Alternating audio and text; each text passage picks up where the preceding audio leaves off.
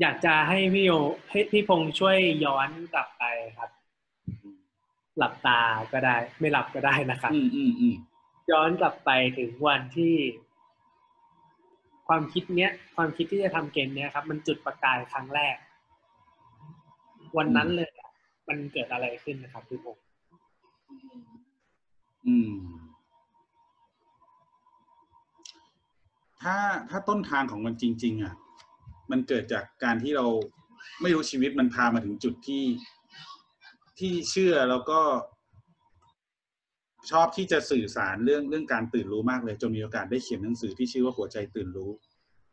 ตอนที่เขียนหนังสือหัวใจตื่นรู้อะแล้วมันมันมีความเป็น ความเป็นนักสื่อสารและสิ่งที่เรารักสูงมากเลยในหนังสือเล่มนั้นนะครับคือพี่อะเออพี่จบจบที่เดียวกับเราก็คือเป็นรุ่นพี่ A แบบเนาะดังนั้นพอเป็น A แบบ BBA เนี่ยมันเป็นเด็กที่เรียน how to อะอะไรนะ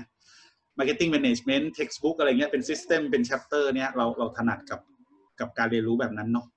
ครับเรียน 4P เรียนทุกอย่างมาอะไรเงี้ยมันเป็นอย่างนั้น เราก็เลยรู้สึกว่าเราเราสนใจเรื่องการตื่นรู้การเปลี่ยนแปลงอะพี่ก็เลยสสสตอนนั้นทำโครงการ New Heart New World ซีซั่นสามนะครับ แล้วตั้งชื่อว่าหัวใจตื่นรู้ แล้วก็หนังสือในในครั้งนั้นน่ะ พี่ก็เลยเขียนหัวใจตื่นรู้ให้มาเป็น how to book มันเลยมีเป็น step step step พอมันเป็น step ปุ๊บเนี่ยมันก็มีโครงสร้างบางอย่างจาก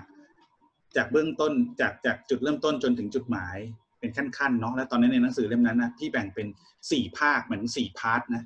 แล้วก็เป็นเจ็ดบทด้วยนะฮะ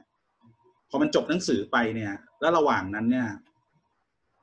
ตอนนั้นลูกพี่ก็ยังอายุประมาณแบบ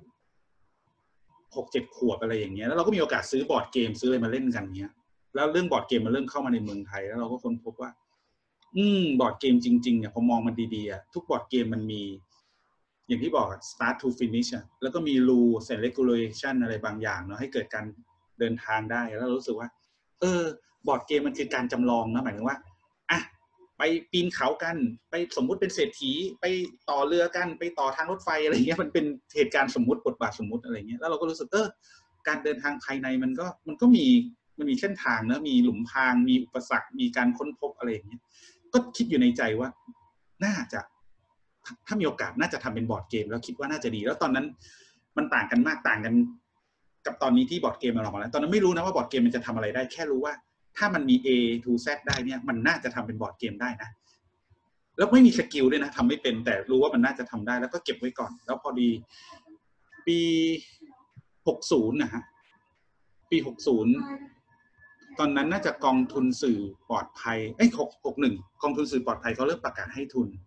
พี่ก็เลยเขียนโครงการไปขอทุนนะฮะตอนนั้นขออยู่สองอย่างคือหนึ่ง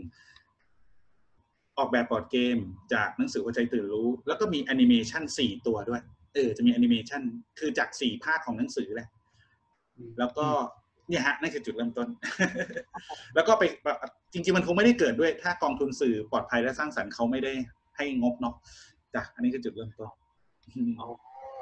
อ๋อนั่นหมายความว่าอ่าเนื้อหาหรือว่า concept อะไรต่างๆ แก่นต่างๆ ของหนังสืออะ